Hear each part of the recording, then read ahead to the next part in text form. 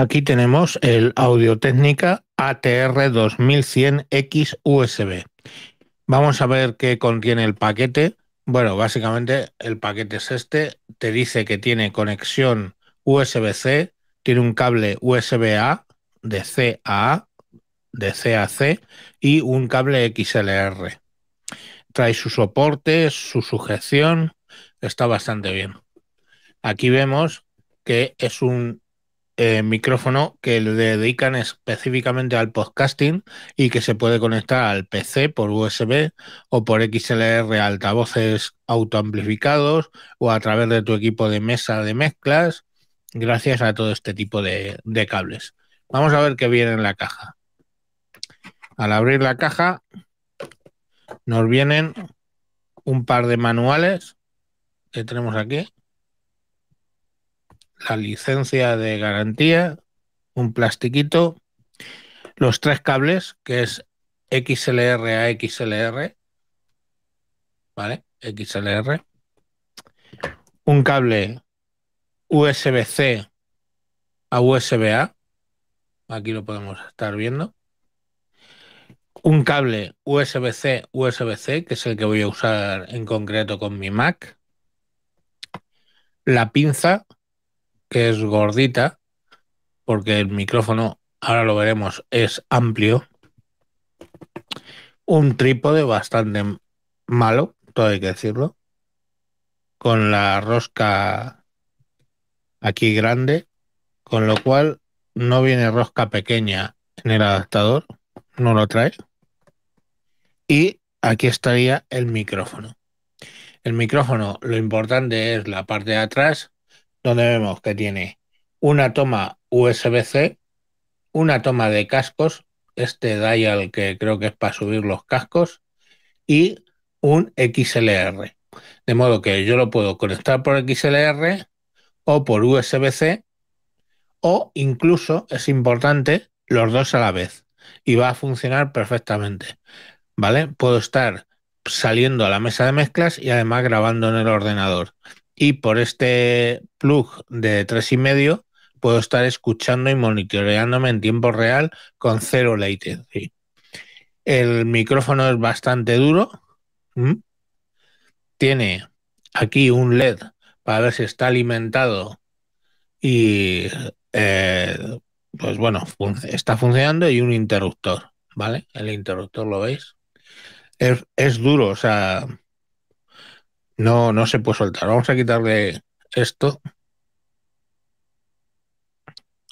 Aquí vemos la, oh, aquí vemos la cápsula, toda negra, y un poco de espuma dentro, que es lo que hace el filtro anti-pop, que también veremos qué tal es.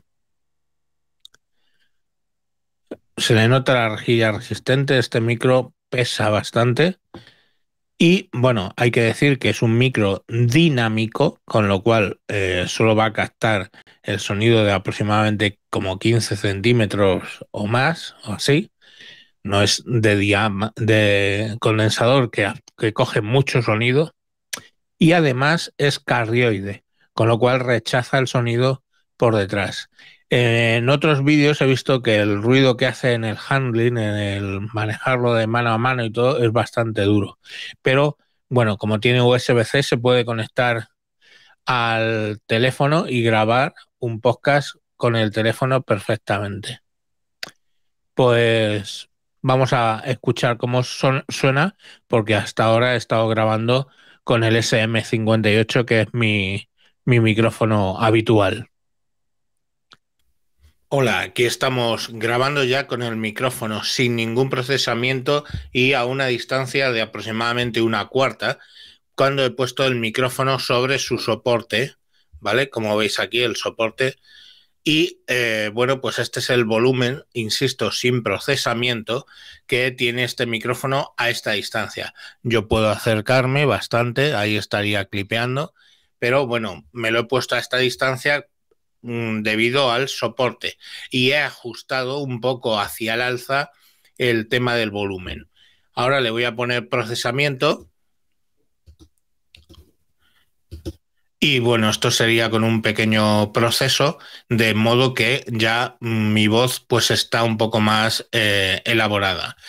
Eh, como estoy muy lejos, pues las P's y las B's las va a rechazar perfectamente y espero que esto te esté sirviendo un poco para ver eh, pues cómo funciona este, este micrófono, ¿vale?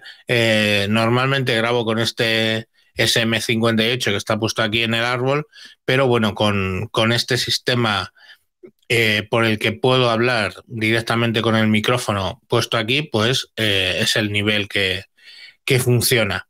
Eh, podría bajarle un poco, vamos a bajarle, vamos a bajarle un poco de sonido. Aquí estaría a una posición yo creo que un poco mejor. no llega a clipear en ningún momento. bueno, pues es lo que lo que podemos hacer con este micrófono. Como veis es muy económico, cuesta unos 84 euros y me ha venido con Amazon. Tiene su lucecita encendida, quiere decir que está siendo alimentado y aparte lo estoy monitorizando perfectamente. Bueno, pues esta es la prueba. Y aquí le estaríamos grabando en su brazo, en el brazo, ya lo he puesto en el brazo, sigue por USB, pero aquí estamos hablando a cuatro, a cuatro dedos de distancia del micrófono. Eh, le podría bajar un poco el volumen eh, así yo creo que estaría un poco mejor. Y eh, bueno, pues como podéis ver, mm, básicamente es un micrófono que está funcionando bastante aceptablemente. Aquí le tengo puesto con procesamiento de voz, se la voy a quitar. Aquí estaría hablando sin procesamiento de voz. Peter, Peter, papa, papá, pa, ba, ba. Mm, bueno, pues tiene el filtro anti-pop al estar tan cerca, pues tiene que ponerlo. Vamos a poner otra vez el, procesamiento eh, hola y sí. Bueno, pues aquí lo tenéis con procesamiento. Ahora vamos a hacer una prueba poniéndole el cable XLR para ver qué tal funciona. Aquí le tendríamos conectado por XLR a mi mesa de mezclas y bueno, pues con un procesamiento esto es lo que básicamente se oye. Estaría un poco alto, lo vamos a bajar un poquito. Aquí ya creo que se oye mejor y vamos a quitarle el procesamiento de voz así, eh, sin procesamiento de voz. Y bueno, pues este es el sonido original del micrófono este a través de una mesa de mezclas conectado por XLR. Lógicamente los cascos ya no los puedo conectar al micrófono porque la salida del micrófono solo funciona si está alimentada por, por USB. ¿De acuerdo? Entonces he tenido que conectar los cascos a la mesa. En un momento dado vosotros podréis utilizar eh, los cascos aquí, aunque esté por XLR, si además le estáis metiendo el cable USB-C eh, al equipo para grabar o lo que sea. Entonces llegará por dos caminos el, audio, pero en principio este audio mm, es por XLR.